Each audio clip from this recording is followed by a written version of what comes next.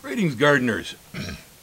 well, the trade winds have returned, uh, and we're getting intermittent showers coming through this afternoon. This is good because we were probably close to two weeks with hardly any rain here at all for a while. So glad to see the rain back. Although yesterday we got five inches in one day. That's a lot. What I'd like to do today is combine a few different things that I usually separate. So I'm going to give some garden report, a little bit of medical stuff, and a story all in one. They'll connect. Starting off, have actually experimented on myself uh, with Mamaki tea. It's good for uh, gastrointestinal problems, flatulence, uh, you know, things on that order. And I was having some uh, severe pain uh, yesterday because of some lesions in my esophagus. They're probably there uh, from too much ibuprofen painkiller many years ago, and they just don't seem to want to heal. So every once in a while, they flare up, and they did, and it hurts. So I used some Mamaki tea um, to see if it would help. It didn't hurt. so I can attest to the fact if anybody else has any lesions that periodically hurt in their gut, I can't tell you whether the mamaki will cure them for you, but it won't hurt it, and it didn't taste bad. Moving on from herbal medicine into the garden. Uh, for today's garden report, I'd like to call it If the right one don't get 'em, the left one will. oh, in the past, we've grown sweet potatoes here with no real pest problems other than that the pigs want to eat them all up and uh, tell me something else that I don't know. Um, or I can get whitefly on the vines, although it doesn't really seem to decline them, so it's not a real severe problem as far as the crop is concerned. It's more of a problem with hosting the fly so it moves to something else later. But um, I have had no real severe pest problems on sweet potato. They've been easy, but no longer, at least not this year. Um, early on, I noticed that the leaves were being chewed by something. Well, I don't really get too worried about this sort of thing. I mean, I'm the sort of guy, I'm organic in that regard. I don't like to spray uh, it, unless I absolutely have to. And I know that most plants will tolerate at least 20% defoliation with no harm to yield. So a lot of this stuff is cosmetic and it's in our heads when we see that bugs are chewing on crops. But this one was pretty much like the 2008 economic collapse in the U.S. I had never seen anything to that uh, proportion previously either, except listening to grandparents talk about the Great Depression. So I wasn't ready for that one, and I wasn't ready for this plague of beetles either. Um, it turned out that it just kept getting worse and worse and worse until it appeared that the crop was going to be damaged and my yield would be diminished because of the chewing. so I went after and I looked at things, and what I found was a, a form of a greenish gold tortoise beetle, and massive, massive infestation of them. I mean, I don't usually get infestations. This was an infestation, and we've grown sweet potatoes here for years without this beetle, so. So go figure. I don't know what it's all about, but it happened. And when I investigated, I found that I also had an equal amount of larvae on the vines, too. Well, since the crop was diminished due to the feeding and isn't going to be that good this year, and we're close to digging season anyway, I decided that the best solution to my problem was to get out the 400,000 BTU propane weed flamer and go through the sweet potato patch. And that way I dormant the vines, remove most of the weeds, make it easier for me to see what was going on since the potatoes are underground anyway and the flamer wasn't going to hurt them. And the beetles were infesting the vines. And so when I went out after them with that flamer, they tried to escape, but they could not, and I roasted every beetle that I ran across. And I, we're talking thousands. There were thousands uh, in there. And uh, so we cooked them all. But some of the vines, being a morning glory, uh, had spread through my roselle and some of my other crops out there. So I couldn't use the flamer right near those crops. So then I switched from the right one to the left. And with the left, I went after the rest of the vines with a spray of spinosad. That it's a bacteria that works on hard-bodied insects and leaf-chewing worms. Um, it was discovered in a tailings heap in a rum distillery in Barbados where they never seemed to get any kind of vermin in the tailings. And so somebody bothered to stop and do an analysis, and they found a bacteria that they call Bacillus spinosus uh, that works against uh, bugs. It's a good bacteria. You have to be careful how you use it because it can also take out a honeybee. So you don't use it while a plant is blooming. Um, but if you're out of bloom, um, if you're going after things like ants or roaches or beetles or codling moth in apples and pears, you know, it's, it's a great thing. I like I like spinosad. Um, anyhow, so we took the flamer after them, and then the rest of them that were left got a good drink of spinosad. I went through, and, um, and I'm hoping that's going to work as the vines now and the weeds dry down, so I can see what's going on. I go out. I'm going to dig the patch in a few more days. Um, hopefully that will work. Next year, I'm probably going to have to start to use uh, periodic spinosad sprays on the crop if this beetle stays around. Have uh, sweet potatoes in other parts of the property that were not hit, and so it was very localized. One new area out here that had been pasture, and I put the potatoes in. Yeah, go figure. Who knows? Um, Anyway, so as I was going through inflaming, of course, uh, there's all sorts of critters out there. I ran across some sphinx moth larvae, the type that eats morning glory vines and so on. Um, but I also ran across a couple of my dreaded enemy, the coqui frog. Of course, we plumped them too, like a ballpark frank. Um, now I know I can hear the hackles raising on people out there who defend this amphibian.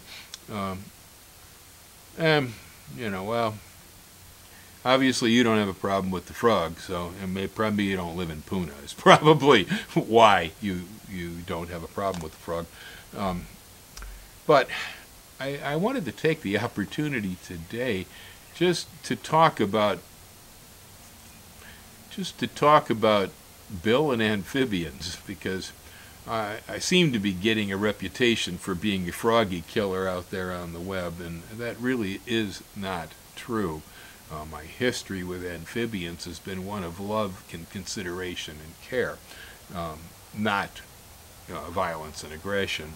Um, this particular frog is a different story simply because it's a creature out of place. The frog does not belong here. It has absolutely no natural enemies in this environment, and so it breeds like rats. And uh, you know, the county will say numbers up to uh, 2,000 per acre.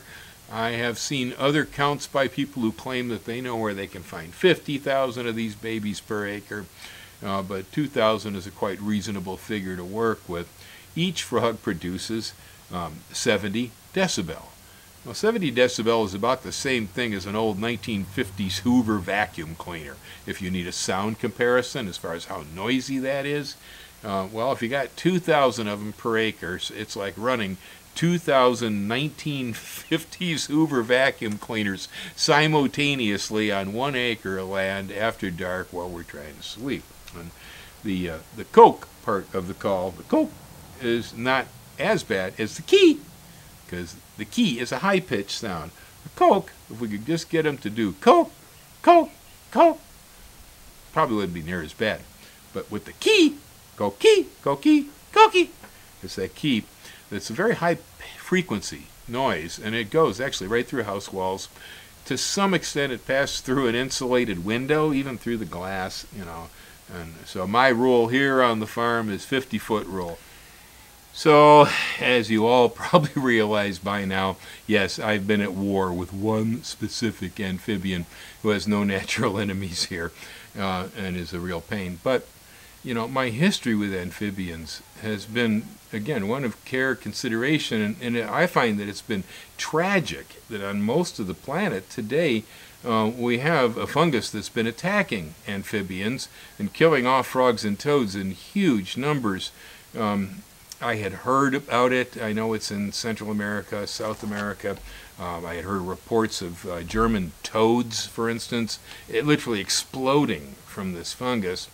Um, and eventually, it, it, while I was living in the mainland in California, uh, the town of Fremont, where I lived around San Francisco Bay, at one time had a very large population of the green tree frog. It was a common noise in the evenings. Um, no, it's not nearly as obnoxious as the coqui, but we would hear the tree frogs uh, in town, and like I said, they were quite common. Well, they began to disappear, and I didn't hear them anymore. And then eventually I was doing consultation for a client who had a very, very large koi pond who was finding toads all puffed up, dead, and inflated uh, all over in her pond. They had come to the pond apparently to breed and mate, but they had picked up the fungus from the water in the pond, and the toads were dying in mass. And she was wondering, what's wrong with her pond? And I was trying to convince her that the problem was not going to injure the fish. The problem was with the the amphibians. And uh, you know, I, again, it was to me tragic. Uh, and I find it so strange. I mean, this is just plain weird. Weirder than some of my ghost stories is that all my life I've loved and protected amphibians in the mainland, but I find myself living in Hawaii now where we have this one particular amphibian that is literally a biblical plague of frogs, this thing, okay?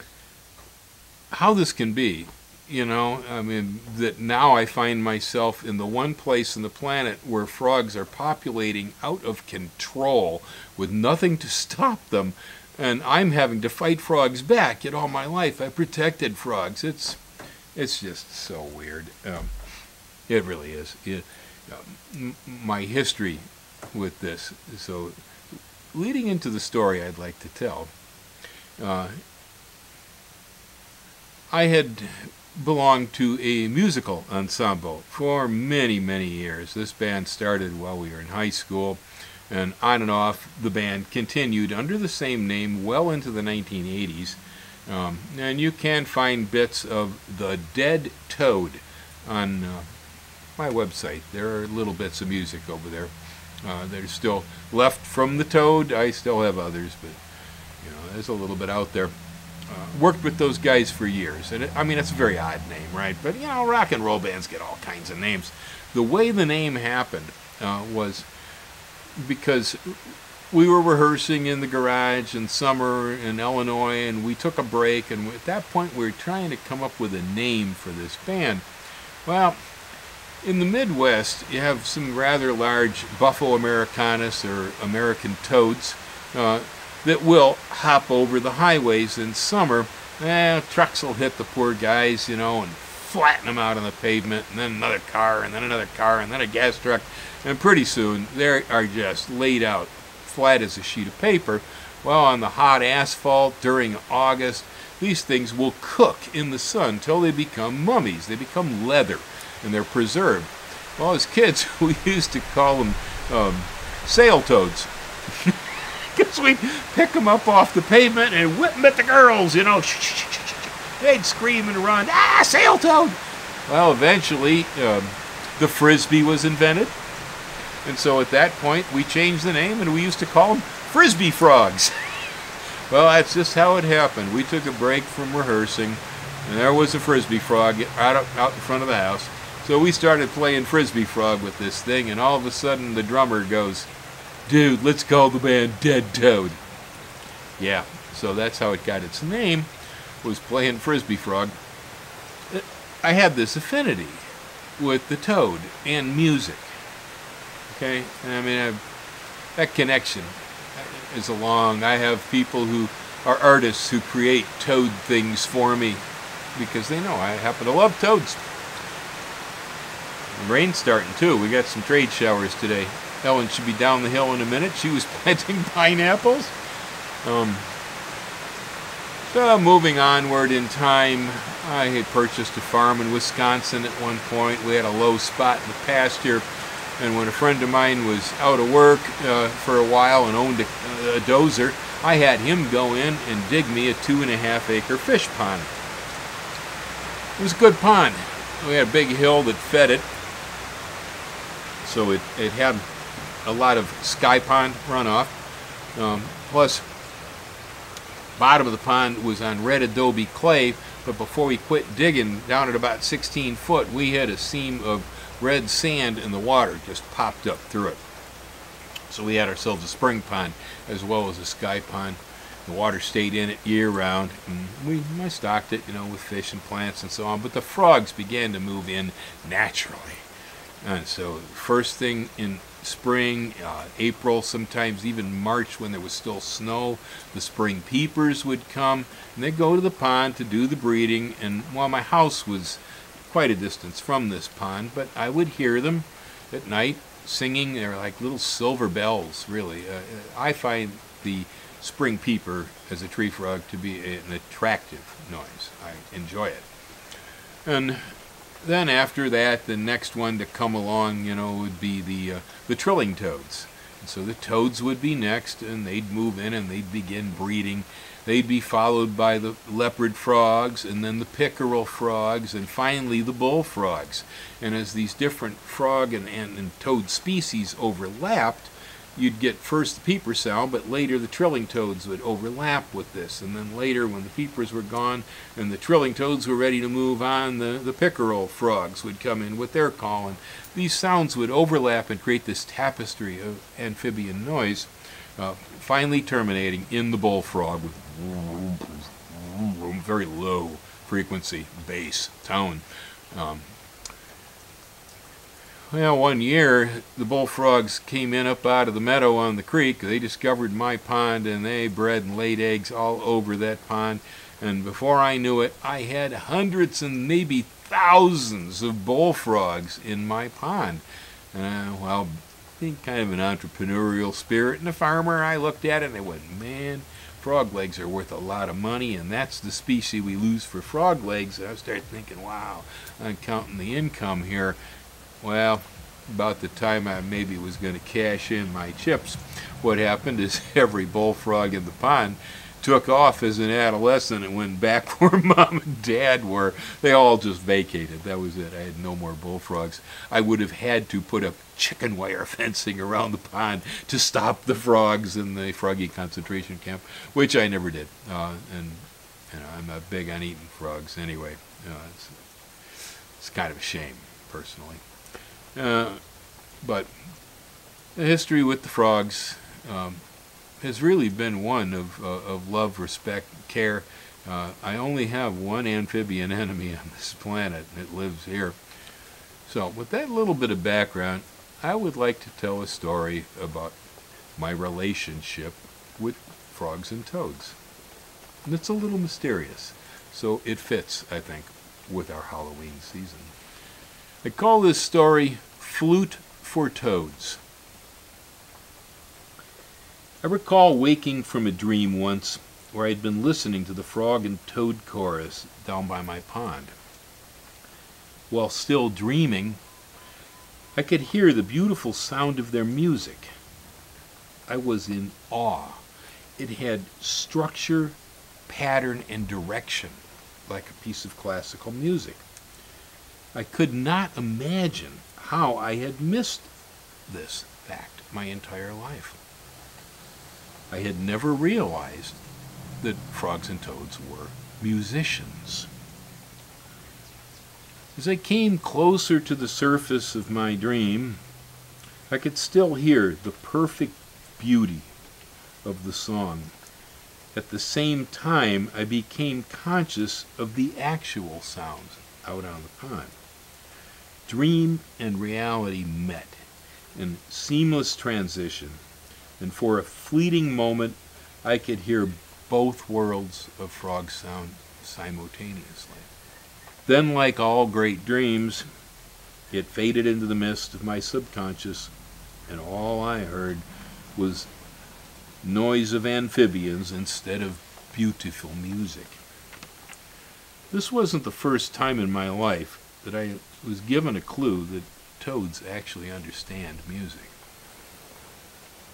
The first experience was during a fine spring day when I took my girlfriend, a blanket, and my Selmer flute into Deer Grove Forest Preserve of northern Illinois for a bit of jamming and bonding.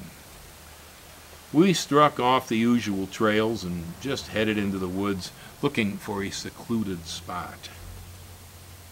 Eventually, I located a clearing where we spread the blanket and sat down.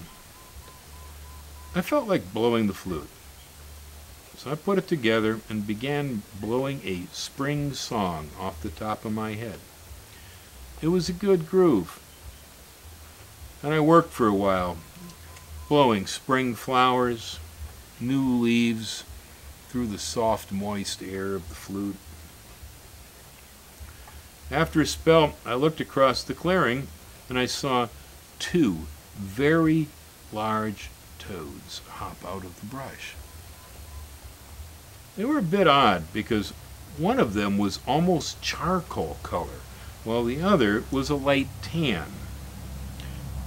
I was pretty sure they were the same species, Bufo americanus. They had very different colored skins.